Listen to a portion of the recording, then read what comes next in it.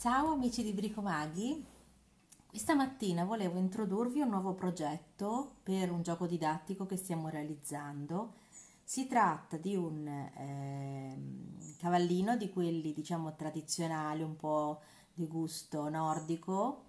eh, cavalcabili eh, e realizzabili a partire da un semplice eh, bastone di legno, quindi ad esempio il, il, il bastone di una scopa va benissimo. Il progetto fa sempre parte del nostro eh, lavoro legato appunto alla festa del craft fiabesco e, e, al discorso appunto della malvagia strega dell'Ovest, ma ve ne parleremo meglio. Comunque, perché questa diretta? Perché ehm, volevo appunto farvi vedere come con un semplicissimo tubolare realizzato con questa macchinina qui che vedete di cui vi farò vedere eh, questa settimana appunto l'utilizzo stiamo appunto rivestendo la testa di quello che diventerà appunto il nostro cavallino. È un'idea perché eh, molte di voi si chiedono che cosa possono fare con questo tipo di tubolari, vengono in mente sempre le stesse cose, generalmente scaldacolli, sciarpe, eh, ma ripeto, ci possiamo sicuramente sbizzarrire anche in progetti legati appunto alla didattica e mi rivolgo in particolare alle insegnanti o comunque alle mamme creative e, e a, eh, con appunto i giochi didattici, anche perché mh, mm, eh, se utilizziamo magari un calzino sicuramente l'oggetto ci viene più piccolo, qui come potete vedere la testa del cavallo sta diventando eh, abbastanza grande, ma come abbiamo fatto? Ora vi faccio vedere. Allora, innanzitutto abbiamo realizzato la sagoma della testa appunto in gomma piuma e ne abbiamo realizzate due ma non è tanto questo quello che vi voglio far vedere oggi quanto l'utilizzo che è stato fatto appunto del tubolare. Come potete vedere questo è un tubolare ehm, eh, abbastanza grande appunto abbastanza lungo voglio dire realizzato con la prim ehm, king side diciamo la, eh, la più grande appunto di casa appunto prim perché poi c'è anche una eh, macchina più piccola per realizzare generalmente ehm, calzini, comunque diciamo anche pupazzi naturalmente, però comunque il tubolare è sicuramente più stretto e ehm, volevo farvi notare lo spessore che non è, eh, avendo utilizzato il filo, diciamo che è quello più adatto per questo tipo di macchina, che è appunto il filato numero 4, per uncinetto numero 4, non viene particolarmente eh, fitta la, la trama. Quindi generalmente chi, chi eh, segue Bricomaghi lo sa, tende ad utilizzare questi tubolari doppi, cioè li realizzo nella misura, diciamo così, eh, doppia, nella lunghezza doppia rispetto a quella che mi è necessaria e poi appunto lo metto doppio. Questa è un'idea furba anche se dobbiamo andare a realizzare ad esempio dei berrettini ma molte di voi si chiedono e mi chiedono come fare eh, a evitare che si veda, diciamo così, ehm, la parte dietro del nostro lavoro, perché comunque questo tipo di eh, macchine per maglieria, eccola qui, questo tipo di macchine per maglieria ci consente di realizzare una maglia cosiddetta rasata. Quindi qui abbiamo il davanti del nostro lavoro e qui abbiamo appunto il dietro del lavoro allora, che succede? Succede che uno dei dubbi che generalmente eh, si pone e le questioni che si pongono è proprio questo, cioè come fare ad evitare, sì è vero io lo metto doppio, però poi magari mi ritrovo con il, il retro del lavoro eh, nella parte diciamo utile, quella appunto che mi serve e che si deve appunto vedere. Quindi come fare? Allora semplicemente noi andiamo a posizionarci a metà della lunghezza del tubolare che abbiamo appunto eh, deciso di utilizzare. In questo caso io ho usato due colori, ma anche per comodità didattica per voi che mi seguite, per farmi proprio ved- farvi vedere, però non è diciamo una cosa assolutamente necessaria usare due colori diversi. Chiaramente, questa è un'altra idea furba, se voi avete dei gomitoli ad esempio avanzati e volete dare comunque spessore e profondi, diciamo spessore alla trama perché magari dovete poi andarla a rivestire con della gomma piuma come stiamo facendo noi oppure con eh, con, a riempire con della gomma, con, ehm, con, con dell'ovata appunto, quindi magari per realizzare un amigurumi un pupazzo, chiaramente mm, se usate eh, questo tipo di spessore da solo, cioè non doppio, l'imbottitura vi si vede sotto, vedete si vedono le mie dita, quindi sicuramente non viene un bel lavoro. E questa è un'altra ragione per cui poi molti abbandonano perché dicono ma non mi è venuto bene, anche perché se poi si decide magari di andare a utilizzare del filato più spesso, generalmente eh, comunque non va bene, nel senso che poi a quel punto il filato troppo spesso non viene caricato bene dalla macchina, quindi vi dà dei problemi proprio di lavorazione. Eh, il filato più adatto è questo perché comunque vi permette di scorrere bene sulla macchina però ripeto il risultato a volte eh, se uno poi appunto deve andare a fare dei lavori di Mm, eh, di riempitura poi del tubolare eh, può risultare appunto deludente. Io parlo chiaramente di, ehm, di trama, di, diciamo di, di, di trama più o meno fitta appunto. Quindi come facciamo? Allora ci posizioniamo appunto a metà del tubolare, semplicemente lo prendiamo in questo modo e andiamo a far passare quella che è la, una dei, quello che è uno dei due lati all'interno. Considerate che quando facciamo questo lavoro qui eh, e abbiamo già fatto uscire chiaramente il tubolare dalla macchina, non dobbiamo andarlo a fissare in alcun modo. Quindi attenzione perché quando il tubolare esce dalla macchina il filato, diciamo così, il, il filo non è, eh, non è fissato, voglio dire, vi si disfa, quindi attenzione ai due fili che escono, uno da una parte e uno dall'altra, non tirate nulla, cioè la, tira, fate uscire il lavoro e lasciatelo così com'è perché poi lo dovrete andare a chiudere dopo. Mm, eh, però attenzione chiaramente perché sennò appunto vi si disfa. Quindi come avete potuto eh, notare adesso siamo sul dritto del lavoro comunque perché una parte è stata appunto eh, inserita all'interno. Tra l'altro vi dicevo potete anche scegliere di usare magari due colori non lo so se avete dei gomitoli avanzati e, e, scegliere di inserire magari iniziate con il filo diciamo che non si deve vedere o, o, o comunque che si deve magari vedere soltanto mm, di cui si deve vedere magari soltanto un pezzettino eh, se dovete realizzare ad esempio uno scaldacollo potete vedere l'effetto è bicolore oppure un cappellino. Eh, di qui vi ritrovate perfette cioè da un lato non ci dovete fare praticamente nulla se appunto vi lasciate anche un piccolo gioco di filo interno del filato che avete utilizzato, sempre che usiate chiaramente dei filati differenti, vi trovate anche con un bordino perfetto cui dove, a cui non dovete fare assolutamente nulla. Tra l'altro mm, eh, eh, abbiamo sul nostro canale YouTube blog di Bricomaghi ehm, realizzato un video tutorial, eh, lo trovate appunto sul canale blog di Bricomaghi, per un cappellino dove vi spiego questa tecnica utilizzata su un cappellino mh, mm, da donna e da bambino, chiaramente come appunto volete.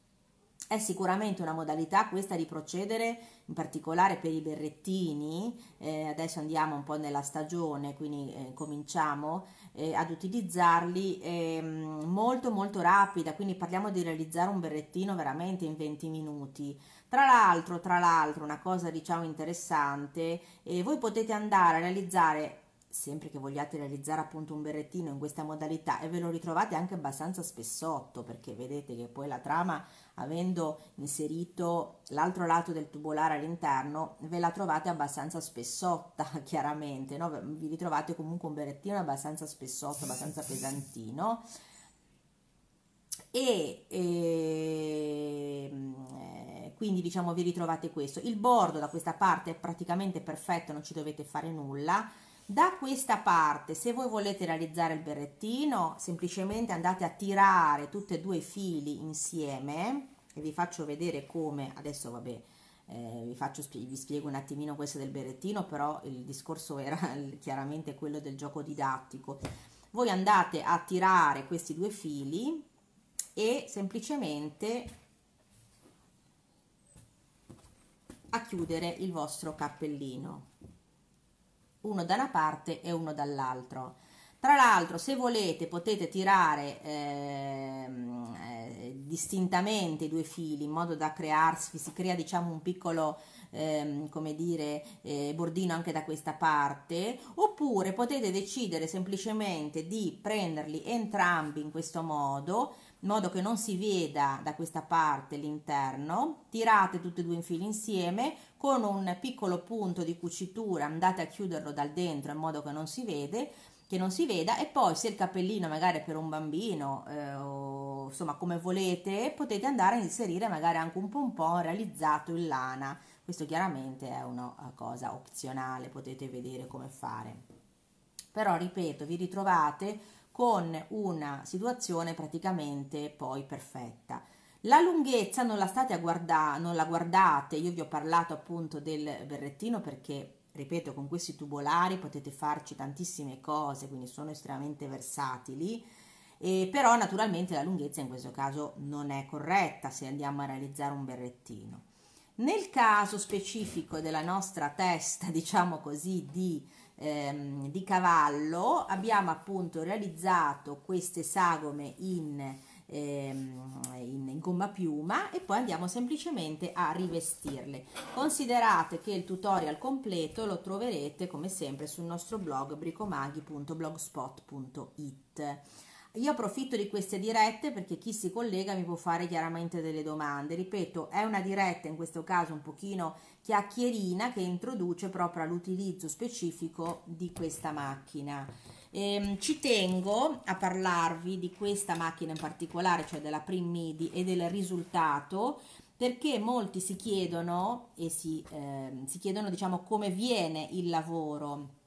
Questo è il lavoro, voglio dire, viene piuttosto bene, considerando anche che è una macchina di fascia abbastanza, diciamo, economica. Eh, io consiglio sempre di lavorare il doppio del richiesto, ripeto, poi se avete anche degli avanzi di filo potete anche usarli magari per realizzare la parte interna che quindi non si andrà poi a vedere e questo vi consente anche di riciclare del filo che magari avete ma non vi piace particolarmente, magari non volete che si veda alla fine, lo mettete semplicemente nel lato interno del vostro appunto tubolare. Quindi una volta che avete concluso, mm, io consiglio di andarlo ad inserire all'interno, di andarlo a, inserire per appunto, ehm, come dire, eh, rivestire appunto nostre sagome, le, le nostre sagome in, eh, in gomma piuma, in modo che la parte, diciamo così, aperta vada a risultare sulla punta della sagoma. Questo perché poi semplicemente a quel punto tirate, andate a chiudere, mentre sulla parte diciamo del collo che poi andrà ehm, a contatto con il bastone vero e proprio per creare appunto il giocattolo didattico e ehm, eh, rimane appunto la parte a bordo. Quindi semplicemente andate a prendere il vostro lavoro e ad inserirlo all'interno. Considerate che è estremamente versatile estremamente plasmabile, quindi veramente con questi tubolari potete fare di tutto di più. Mm, anche realizzare naturalmente, naturalmente pupazzi, pupazzi didattici, pupazzi, amigurumi, sempre però usando, ricordatevi, di usare il tubolare doppio, quindi di realizzare sempre con la vostra macchina il doppio della lunghezza del tubolare che vi necessita, in modo da non rimanere deluse, cioè da ottenere comunque una trama, vedete, bella spessa,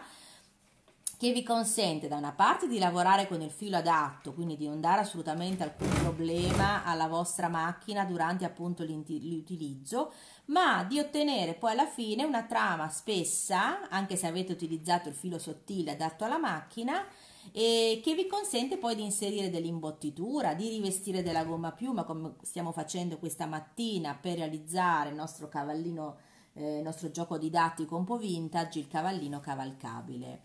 E so che molti utilizzano anche dei semplici calzini per fare questo tipo di eh, operazioni, però voglio dire ehm, è un, sicuramente un'idea ulteriore per utilizzare questo tipo di macchine per maglieria. Nella prossima diretta, quindi questa diciamo l'ho usata un po' per farvi vedere il risultato, nella prossima diretta andremo a vedere proprio l'utilizzo della macchina a livello di tubolare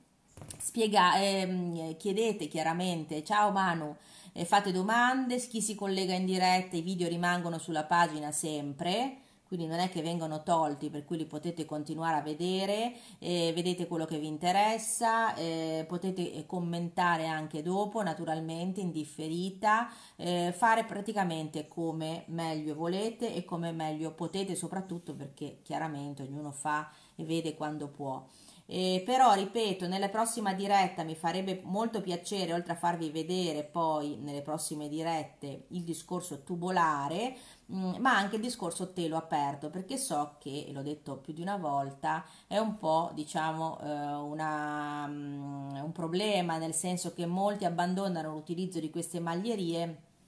proprio perché non riescono a realizzare il telo aperto. In realtà, ve lo dico sottovoce, quando andiamo a usare il telo aperto non tutti gli aghi lavorano, quindi non è eh, la procedura uguale a quella del mh, mm, tubolare, non basta semplicemente eh, posizionare eh, diciamo così la levetta su telo aperto e poi procedere allo stesso modo perché alcuni aghi non lavorano, ma ne riparleremo, seguiteci. Nel frattempo, se vi siete incuriositi e, e volete realizzare un berrettino, ad esempio, avete già la macchina in casa e vi piace l'idea di realizzarlo così in semplicità. E potete andare appunto sul nostro canale blog di Bricomaghi trovate il tutorial proprio per realizzare il berrettino. Tra l'altro mm, molto furba l'idea magari di realizzarne più di uno e in maniera molto svelta e rapida rispetto alla eh, procedura ai ferri o all'uncinetto.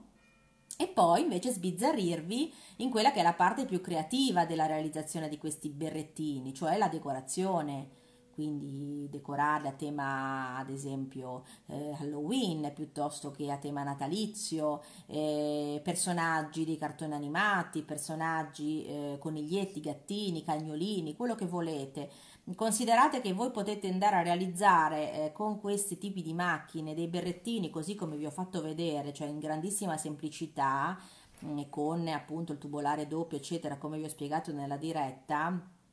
eh, eh, molto rapidamente, quindi non so, parliamo di una ventina al giorno, voglio dire, poi a quel, a quel, a quel punto tutto il tempo vi resta da dedicare alla decorazione di questi berrettini, alla, alla, alla fantasia eh, che vi suggerisce appunto la decorazione di questi berrettini. E devo dire che da appassionata sicuramente di uncinetto e di ferri, perché eh, io vengo da lì, chiaramente ho scoperto dopo questo tipo di maglierie, trovo la cosa comunque eh, carina, divertente, perché comunque la realizzazione diciamo della, mh, del, del, berrettino in sé, parliamo di berrettini ma potremmo parlare anche di sciarpe chiaramente, è un po' mh, la parte diciamo più lunga eh, chiaramente, eh, sempre che parliamo naturalmente di oggetti che poi potremmo decorare per i nostri bambini, potremmo chiaramente